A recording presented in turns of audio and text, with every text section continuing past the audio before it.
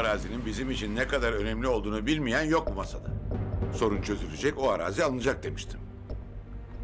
Ha şimdi neden kaybettiğimizin hesabını hanginiz verecek bana? Efendim bir konuda yanlış bilgilendirildim. Mazereti yok bu işin. Adamların yöntemlerini bilmeyen yok. Her ihtimali göz önünde bulunduracaktınız. Telefon bağlamayın demiştim. Efendim Hilmi Önal önemli olduğunu söyledi. Tamam bağlayayım. Efendim, Adnan Bey, kriz zamanı meşgul etmiyorum inşallah. ne istiyorsunuz? O araziyi ne kadar istediğinizi biliyorum. Her ne kadar bana kısmet olduysa da vicdanım rahat değil. Çok huzursuzum. Hiç zannetmiyorum. Öyle öyle. Gelin sizle bir anlaşma yapalım. Araziyi size ben satayım.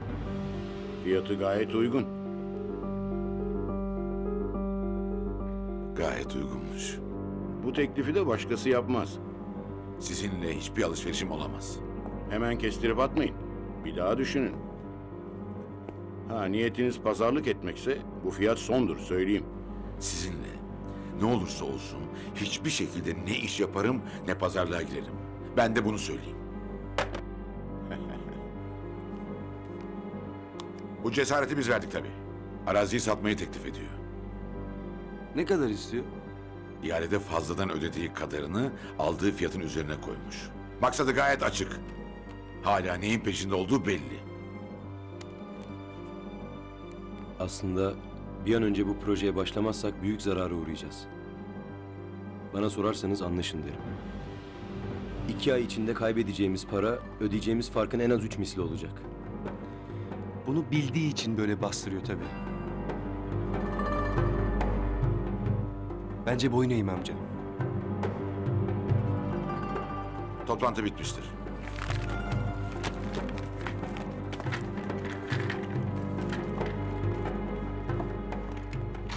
Fizibilite raporları açık.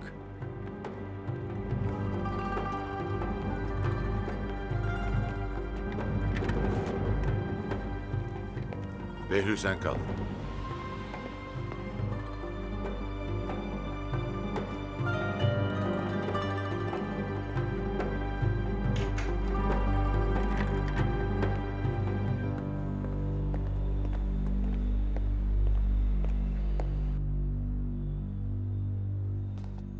Bu işi sen çözeceksin.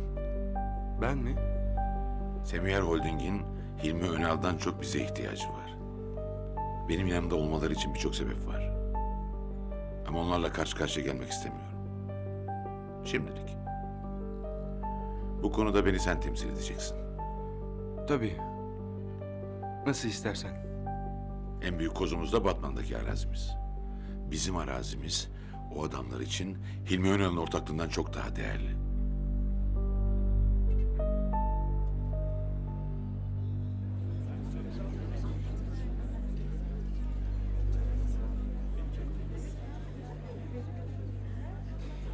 Sizin asıl faaliyet alanınız petrolcülük.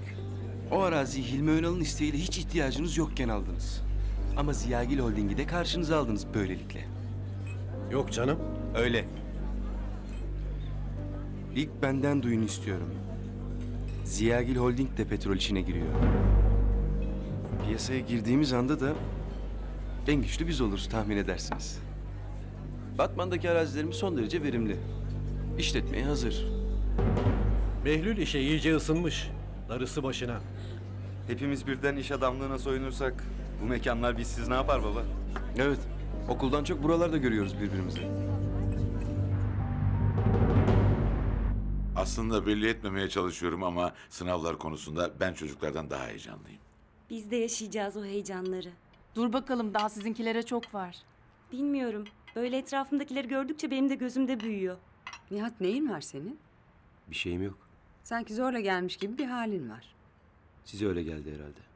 Çok çalışıyor, yorgun. Tatile gidersiniz artık bir yerlere.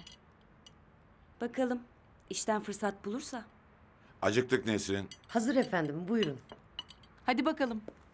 Deniz Hanım'la çocuklara da haber ver. Söyledim, gelecekler. Ee Nihat, babanın yeni arazisinden ne haber? Başlıyorlar mı inşaata? Hiç ilgilenmiyorum. Herhangi bir bilgim yok.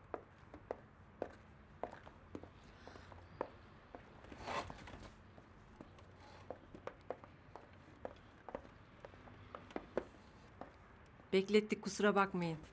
Nihal nerede? Çalışıyor hala. Bir şeyler atıştırırım dedi ben de ısrar etmedim. Ben pes ettim valla. Tamam. Bitirdim olayı. Yarın kitap kapağı bile açmayacağım. Zaten öbür gün sınav. Oh ondan sonra rahatım. Pazar günü ablanın sınavı bitene kadar kimse oh demeyecek.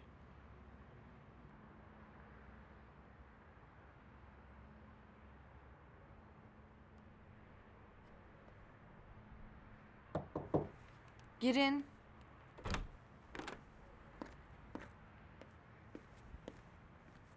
Tepsiyi almaya geldim. Yememişsin daha. Alayım mı? Yok kalsın didikliyorum arada. Nasıl gidiyor? İyi. Deneme sonuçlarına bakılırsa kazanmam kesin. Hadi inşallah. Belki ben de Almanya'da üniversiteye gideceğim. Ya Babam bütün imkanları zorlayacak. Çok istiyor bakalım. ne güzel olur biliyor musun? Ay çok sevindim senin adına. Aptal Beşir de tutturmuş açık öğretimi bırakıp gemilerde çalışacağım diye. Ne o dünyayı gezecekmiş. Mezuniyetine az kaldı onun. E deli. Kafasına taktığı her neyse hayatını mahvetmeye değer mi? Neyse ben seni meşgul etmeyeyim sen çalış.